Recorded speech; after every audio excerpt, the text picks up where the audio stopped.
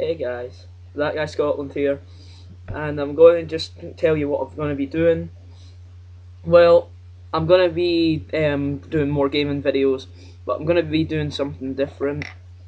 I'm going to be doing a thing when I'll get a guest with me, and I'll like pretty much be drawing random stuff with them, speed drawing pretty much.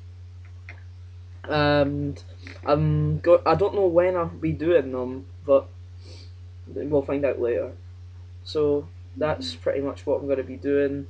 I'm also going to be doing like some of the um, creepy pastas, like the gaming, and I'm looking forward to all of them. So yeah, see you later then.